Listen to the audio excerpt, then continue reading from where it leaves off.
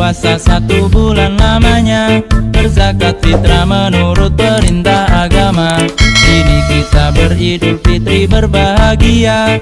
Mari kita berlebaran bersuka gembira. Berjabatan tangan sambil bermaaf-maafan. Hilang dendam habis marah di hari lebaran